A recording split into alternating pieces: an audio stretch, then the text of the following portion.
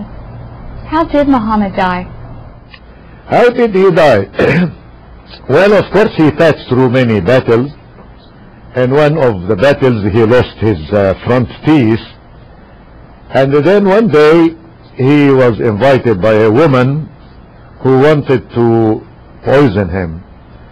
And she asked what kind, what, what part of the body of the lamb he likes better. And then they told her the soldier. She put a lot of poison in that. He has another person with him. And the other person ate from that lamb and he died instantly. Muhammad ate and swallowed a little piece and stopped. And then they discovered that it is poison, but the poison started to work in the body of Muhammad till he died. And he died on the lap of his wife Aisha. She was the youngest one.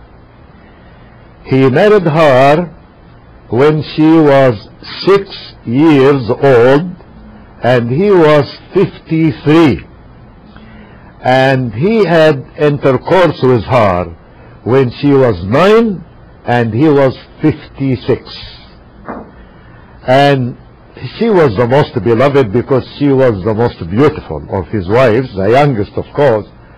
And when he died he died on her room because he has rooms for every wife. Every one of his wife has a special room. How, many uh, did he, how many wives did he have?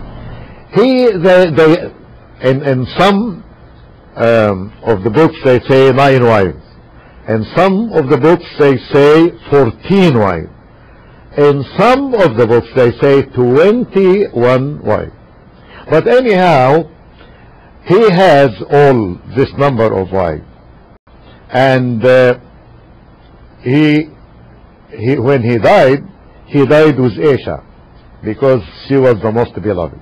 And he died on her lap.